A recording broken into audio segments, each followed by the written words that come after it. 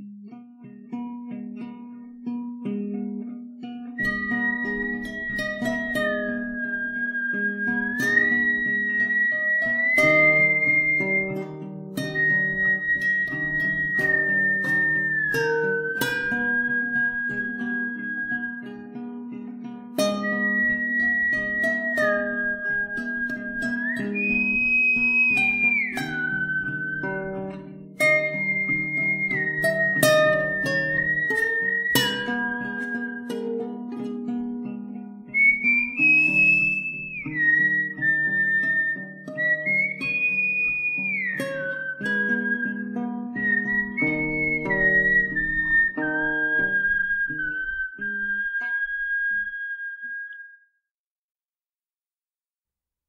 Hi. This isn't your narrator. This is Kristen. Uh, if you don't remember me from the ends of every episode before this one, then hello. I'm Kristen Zaza. This is my podcast. If you haven't listened before, you don't know that usually someone else is talking right now. In a way. Listen, I'm sorry. I tried to get her to come out for this episode. No matter how many times I knocked and knocked, she wouldn't come to the door. She couldn't come out for this episode. Your narrator. She couldn't bring herself to do it. I understand. And I'm not going to sit here and pretend that that isn't a metaphor. Sure, there's no door. You know this. I'm not going to pretend you don't. But I'm not going to tell you that she doesn't exist either. This is real. If you're listening, if you have been really listening, you know that it's real. She just can't come to the phone tonight. That's all I'm allowed to say. She wouldn't come out, and I wasn't sure whether or not I should proceed. Do I send out an episode? Would you want to listen to me? Would it ruin all that I, we, created? Impossible absolutely impossible. And if you think that, well, hi. Welcome anyway. Sorry, she'll be back. So you have to listen to me and my story this week. That's okay. It's a good one. I promise. I mean, I think. We're gonna get through this together. So just stay with me and I won't lead you astray. You're my friend too, you know. Some weeks she is this gorgeous thing, this dark, mysterious thing that I envy and admire and desperately want to be. Other weeks she is this small, frail thing, this thing with empty black eyes that give nothing and demand everything and refuse it all once you've given it. And yet, why should I sit here and give my time, my voice, to her? She who gives me back so little. Here's my story. You can take it or leave it. Thanks for listening. I can't say it enough. Thanks for listening. I sat down to write a story. Once. It doesn't matter when. I sat down to write something. Anything, really. I sat with my piano and my pen and my wine and my microphone and. and nothing would come out. It's so easy, so terribly easy to fall in love with words and then just as quickly to fall out of love with those same words. And I brushed it off and I went on with my life. I worked. Not on something I love, but worked. Walked to a place and stayed there for eight and a half hours and walked home and numbed my brain for a while after it. And I did this again and again and again. Because sometimes that's what life has to be working and walking and sleeping and eating, and that's all. And you don't stop or sit, because if you did, you'd realize how badly your feet hurt and how tired you were, and you wouldn't be able to get up and do it again. These are not real problems. These are small, petty. But what I mean to say is, I don't stop. It's really not a bad thing, despite the fact that I'm making it sound like it is. The really difficult thing is the loneliness that comes with this. Months can go by before you realize you've been working so much and stopping so little that you can't remember the last time you saw a friend. You start to wonder if you even have friends anymore, really. But you keep going, as you must. It's really not a bad thing. One night, I was walking home, and the sun was setting lazily in the direction in which I was walking. And for a moment, my brain stopped cursing to itself and muttering infantile complaints and whining and griping. And suddenly, surprising me as if out of nowhere, I saw the sunset for what it was.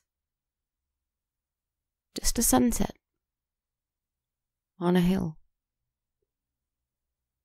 Huh. I watched it for a little while, and I didn't think about the future or the past the things I had to do or the things I wanted to do.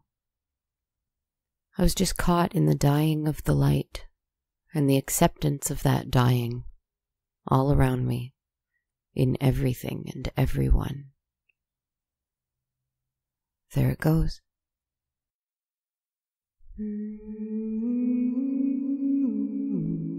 And eventually, as I turned my head to the road once more to continue on my journey, I thought I saw, somehow, the silhouette of a woman. I couldn't tell you much about her from that first time, except that she seemed a little bit like me. Just a little, for she seemed to be mostly darkness and cold. Just standing some ways ahead of me, clearly staring directly at me. And as she did, I felt a shudder, a genuine shiver from a stunning chill that made its way down my back. And the strangest part is, I can't remember how she left my sight.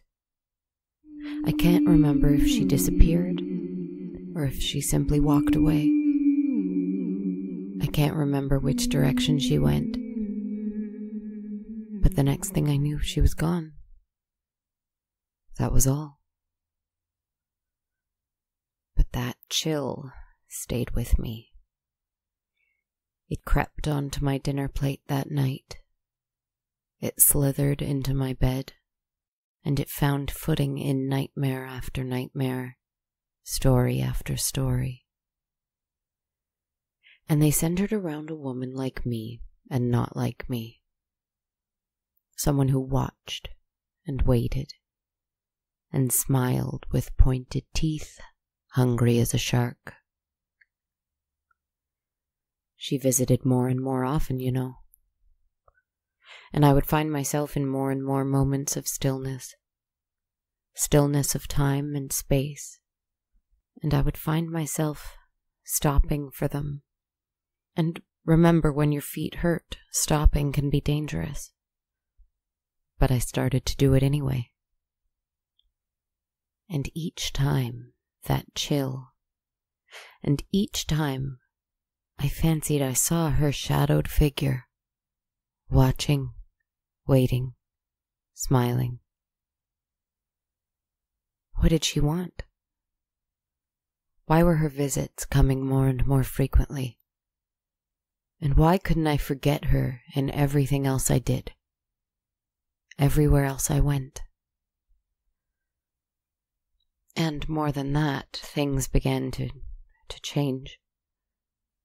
People, more and more frequently, began to forget my face, and yet strangers more often would remember it. I know you, don't I? They would say all the time, calling me by a different name. Coincidences, small things, seeing an old friend I haven't seen in years, then an hour later seeing that same person in an entirely different, random place. Sitting on a bus and seeing my initials carved into the seat beside me. These things kept happening. And perhaps it meant nothing. Likely it meant nothing. Or possibly the world was slowing down just a little bit for these brief windows to stop and say to me, I'm watching. I'm listening. I'm here. And that voice that echoed back was so very similar to my own. So close. But it was someone else. On my walks home, on my sunset walks, the figure would start to draw closer and closer each night I walked. Sometimes, as it had been the first time, I'd notice her ahead of me in the distance. Sometimes I'd turn my head and she'd be behind me. Sometimes it would take me a long time to notice, but, but it would occur to me that she was walking alongside me, my constant, silent companion, and I had no idea what she wanted or what she was doing, walking around with some grumbling, dissatisfied creature like me. But she was there. I didn't mind so much anymore. At first it was frightening, of course, but I didn't mind, after a while, having her walk with me. As long as I didn't stare too long at her black eyes, her teeth, her clawed hands, her translucent skin. As long as I didn't let that cold sink in too deeply into my bones. As long as I kept the ever present threat of her in the back of my mind. Whatever she was. She was a regular part of my sunset walks, and no, I didn't mind. What I did mind was going home one evening, having a small little dinner, watching some television, ignoring the half finished documents on my computer, the half scrawled lyrics at the piano, crawling into bed, muttering about not having enough time despite the fact that I had just wasted three hours, closing my eyes, waking up in the middle of the night to a dark room, to a cat on the bed staring at the hallway, his back arched and his teeth bared, silently, to a figure of a woman standing in the hallway, watching me. She walked away. I stood, shaking to follow, but when I turned the corner, she was gone. It was a dream, I told myself in the morning. I told it to myself again when, the next night, I awoke to her standing in the door of my bedroom, closer. And the next night, when she was standing right beside me, watching me. And I couldn't move. I lay there, unable to lift my head or move my arms. Her lips, swollen from those rows of fangs in her mouth, curled into a dark and terrible smile. and I tried to scream, but the sound caught itself in my throat and strangled me a little. And she just watched me for a long time. Until finally, she just reached over with a pale hand with abnormally, horrifyingly long fingers and black, sharp nails, and she placed her hand on my forehead and in that moment the cold of her hand spread across my entire body. Any light in the room was sucked away, and the only thing I could see was her face, stark and strange in the darkness. And I could feel my heart thumping, thumping away in my chest faster and faster, as if warning me that I must do something. I must stop this, I must escape. But I couldn't. I couldn't move and she leaned over, so close that I could hear her slow and calculated breaths, and she whispered, If I were a book, you, my friend, would write me. I don't remember anything after that. I remember waking up in my home. The sun shone as it always does, but it felt different this morning. The sun in the sky was a surprise. That I had survived the night to see it was remarkable. And forget the past evening or the future day ahead of me. In that simple, quiet moment, the sunrise was lovely. And I knew what I had to do. I didn't even call in sick to work that day. In fact, work went away completely. Didn't matter. My walks to and from work were no longer needed. I practically crawled out of bed over to my computer, still half asleep. And I haven't really stopped typing. I don't know how long it's been. I don't know if this is bad. Perhaps this is really, really bad, but I have one friend and she urges me to write.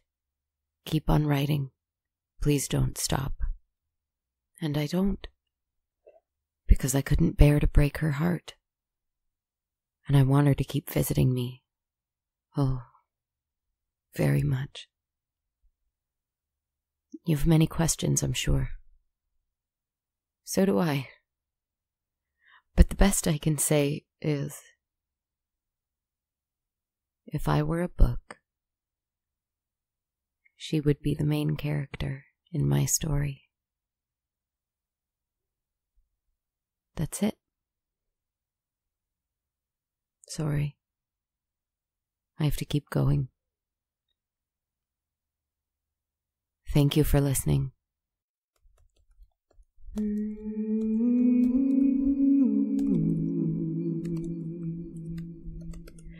Right,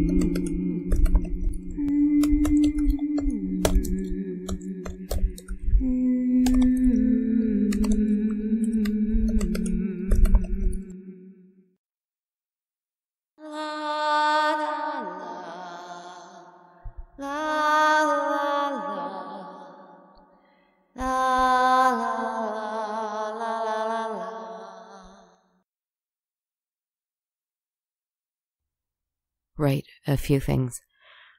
Thanks for listening to episode 27 of On a Dark Cold Night. As I said, this is Kristen Zaza. It's been a lot of me this week, and I hope that's okay.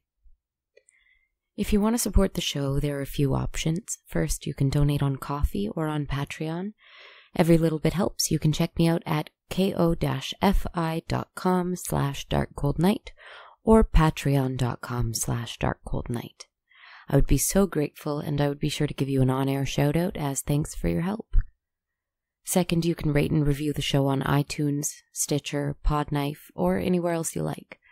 Or you can send me your thoughts on Twitter at a dark cold night, Instagram at dark cold night podcast, or on my Facebook page. Or you can send your thoughts to darkcoldnightpodcast at gmail.com.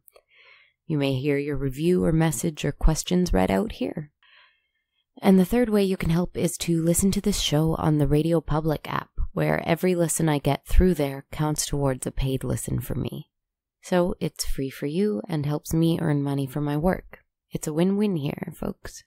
Thanks so much for listening and staying with me through this tonight. I wonder what this would seem like if this was your first episode.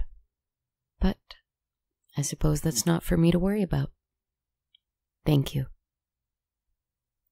Good night.